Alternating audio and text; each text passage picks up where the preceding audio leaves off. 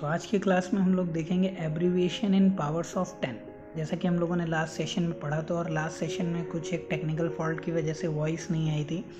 But I will try कि next time ऐसा ना हो। और uh, कई लोगों ने मुझे लग रहा है कि देखा ही नहीं बताया ही नहीं। बट एक मेरे फ्रेंड हैं संदीप सर। थैंक यू कि उन्होंने बताया मुझे कि आपकी वॉइस नहीं आ रही। और फिर मैंने उसको रीजनरेट करके शॉर्ट uh, फॉर्म में एक दूसरा वीडियो अपलोड किया है। कोई भी डाउट होगा तो आप कमेंट सेक्शन में पूछ सकते हैं। तो हम लोग बात कर रहे हैं abbreviation in power of ten तो ये एब्रीविएशंस क्या है? एब्रीविएशन इज़ नथिंग जस्ट जब हम किसी क्वांटिटी को, जब हम किसी क्वांटिटी को जैसे किलो में लिखते हैं मेगा में लिखते हैं सेंटी में लिखते हैं मिली में लिखते हैं। So this meet mega, kilo, centi, milli shows some the abbreviation of power of 10. Suppose example जैसे कि अगर हम बात करें कि अपने वन के जी तो यहाँ पे के जी का मतलब क्या है? किलोग्राम। यानी कि किलो क्या रिप्रेजेंट कर रहा है? वन ग्राम और यहाँ पे जो किलो है ये टेन की पावर शो कर रहा है टेन पावर थ्री यानी कि अगर हम मल्टीप्लाई करेंगे one into ten power three so that show one thousand gram so these are the abbreviation in powers of ten and these are the very important for numerical point of views so let be start how it is work so make a list okay for small small powers और large power small for negative sign 10 power minus means power minus and large for positive power okay so firstly अगर हम बात करें तो middle से start करते हैं हम लोग।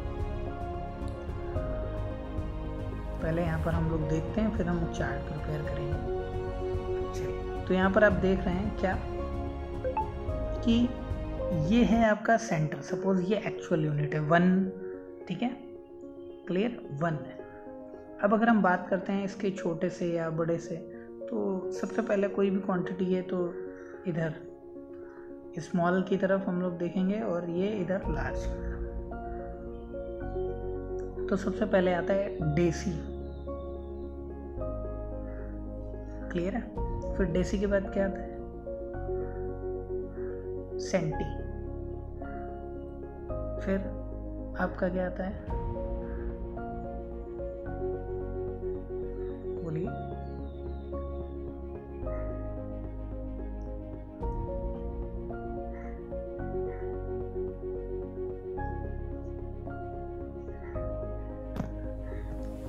तो डेसी हो गया आपका, सेंटी हो गया, फिर क्या होता है आपका, मिली।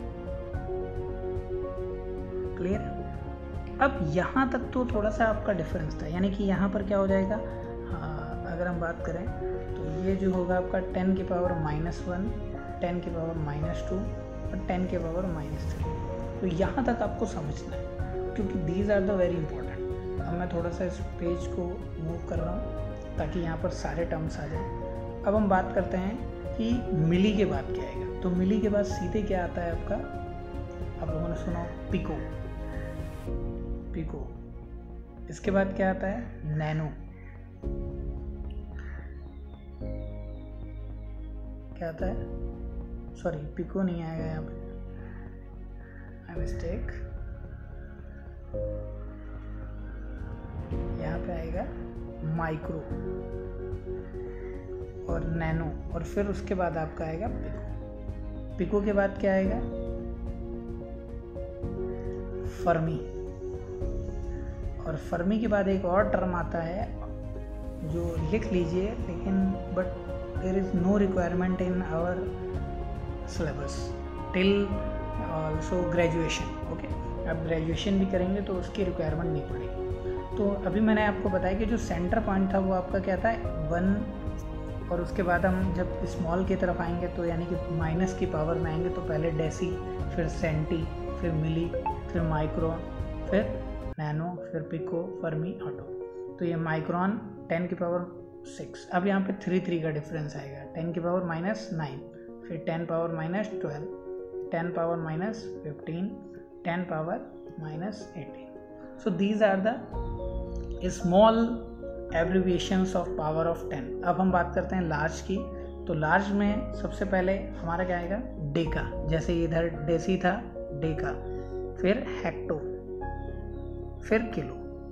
तो ये स्टार्टिंग के थ्री क्यों मैं लिख रहा हूँ? क्योंकि इनमें थोड़ा सा डिफरेंस है। ये टेन की पावर वन टेन की पावर टू और ten power three so these are the simply these are but after that again in the difference of power of three kilo के बाद मेगा, गीगा किलो वाइट और giga white, ये तो सुना ही होगा, computer ली होगी तो बिल्कुल। टेरा। लेकिन कंप्यूटर के फॉर्म में डिफरेंट हो जाता है। Peta. And the last one is exa exa E X A exa clear so simply again this is the in power of 3 10 power 6 10 power 9 10 power 12 10 power 15 and 10 power 18 so these are the abbreviations अभी हम बताएँगे कैसे इसको use करते हैं हम लोग अपने डेली उसमें लाइफ में। और यानी कि जब हमने न्यूमेरिकल प्रॉब्लम्स यूज़ करते हैं तो किस तरीके से यूज़ करते हैं। तो पहले मैं यहाँ पर एक और पार्ट डिवाइड कर देता हूँ ये इस तरीके से, जहाँ पे नाम रहेंगे। और आपको तो सबसे पहले हम लोगों ने क्या पढ़ा था? डेसी लिखते चलेंगे स्मॉल में। फिर क्या था? सेंटी फिर क्या है आपका?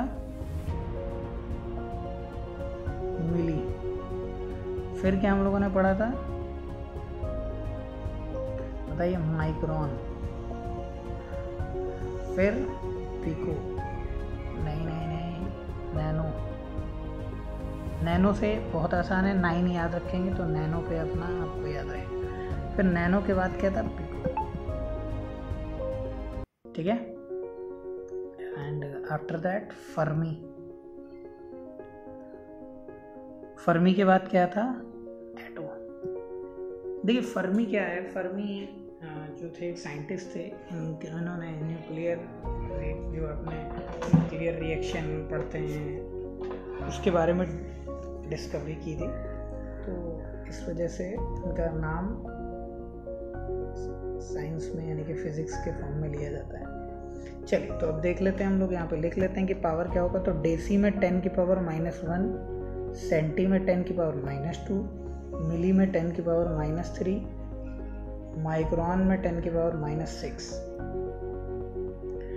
नैनो में टेन की पावर माइनस नाइन, अभी मैंने बताया था, टेन, पिको में टेन की पावर ट्वेल्व और फर्मी में टेन की पावर माइनस फिफ्टीन और ऑटो में टेन की पावर माइनस एटीन तो आई थिंक ये क्लियर होगा सभी को?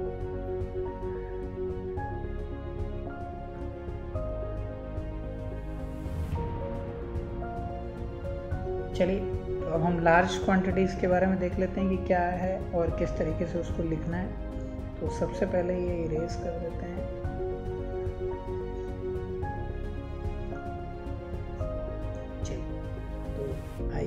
देखते हैं सबसे पहले यहाँ पे क्या था। यहाँ पे क्या हमने पढ़ा था? डेका। जैसे उधर हमने क्या पढ़ा था? डेसी। यहाँ पे क्या पढ़ा था? डेका। फिर हमने क्या पढ़ा था? सेंटीमीटर। सेंटी यानी। फिर हेक्टो। यहाँ पे क्या है? हेक्टो। फिर क्या है आपका? किलो। फिर क्या है? मेगा। फिर क्या है आपका? गीगा। फिर क्या है? टेरा। फिर क्या है? पेटा। और उसके बाद क्या था? एग्जा। ये एग्जा और पेटा आपको रिक्वायर्ड नहीं होते हैं। ये टेरा तक या मोस्टली गेगा तक ही आपको यूज़ करने रहते हैं। क्योंकि हमारा जो सिलेबस है, इतना हार्ड नहीं है। और जो हम आगे भी पढ़ाई करेंगे तो वो इतना इस तरीके के लेवल पे हमारा नहीं पूछा जाता कभी भी। तो इतने में सफिशेंट टेन पावर वन हो जाएगा या ten power two ten power three ten power six ten power nine ten power twelve और टेन की पावर फिफ्टीन और ten power eighteen so these are the abbreviations clear so these are the very important abbreviations that is also used in our numericals okay some other some other quantities like angstrom आपने सुना होगा angstrom तो one angstrom is equal to ten की power minus ten ये only distance के लिए use होता है एक वन शेक होता है शेक तो ये किसकी यूनिट है? टाइम की है. तो एक शेक में ten power minus eight second होते हैं. तो इस तरीके के कुछ एब्रीवेशंस आपको याद करने होंगे और एक जो पैटर्न मैंने आपको बताया, उस पैटर्न को फॉलो करना बहुत ज़रूरी है. किस तरीके से एग्ज़ाम में आता है? एग्ज़ाम में आ जाता है कि वन मेगा वॉट अब आपने देखा होगा कि कई बार आपने पढ़ा है कि ये वन मेगा वाट का पावर स्टेशन है। तो कैसे पता करेंगे कितनी पावर बनती है वहाँ पे? तो मेगा का मीन्स क्या था अभी? अभी हम लोगों ने देखा मेगा का मीन्स क्या है? मेगा मेगा का मीन्स टेन पावर सिक्स तो ये यहाँ पर क्या आ जाएगा? तो one into ten power six अब ये कैसे पता चलेगा कि आपको स्मॉल क्वांटिटी पूछी गई है कि लार्ज पूछी गई है? तो उसके लिए सबसे बेसिक है कि जो लार्ज क्वांटिटीज़ होंगी, उनका जो नोटेशन होगा, वो कैपिटल लेटर में होगा। और जो स्मॉल क्वांटिटी होंगी, उनका स्मॉल तो मैं लिख देता हूँ वहीं पर टेबल के पास, थोड़ा सा आपको आइडिया रहेगा। रेड कलर से लिखता हूँ ऑरेंज से लिखता हूँ। तो डेसी का स्मॉल डी सेंटी का स्मॉल सी मिली का स्मॉल एम माइग्राम का म्यू नैनो का एन के ऊपर इस तरीके से पीको का स्मॉल पी फर्मी का एफ़ और ऑटो का स्मॉल ए और उसके ऊपर नॉट अब हम बात करते हैं इधर लार्ज क्वांटिटीज़ में। तो समझ गया होंगे डेका का कैपिटल डी हेक्टो का एच किलो का के मेगा का एम गीगा का जी टेरा का टी पेटा का पी और एग्जा का e। तो इस तरीके से आपके टर्म्स अगर लिखे हुए हैं तो आपको समझ जाना है कि ये इस पावर को रिप्रेजेंट कर रहे हैं और उसके बाद आप उसको स्टैंडर्ड में ले आइए। इस तरीके से आपकी ये पावर्स ऑफ़ टेन में कंप्लीट तो आज की क्लास में हम लोग इतना ही देखेंगे और फिर हम लोग कल एक क्लास करेंगे। क्लास को आगे लेके आएँगे, जिसमें हम लोग अदर यूनिट पढ़ेंगे कि मास की यूनिट क्या है लेंथ की यूनिट क्या है टाइम की यूनिट क्या है, इसके बाद हम लोग उनको मेज़र करने के जो मेथड है, जैसे आपका सबसे इम्पोर्टेंट पैरलैक्स मेथड है, और जो आपका कॉन्सनट्रेशन मेथड है स्मॉल डिस्टेंस के लिए तो उन सभी मेथड्स को हम लोग कल की क्लास में, या परसों की क्लास में देखेंगे। Okay thank you everyone take care bye bye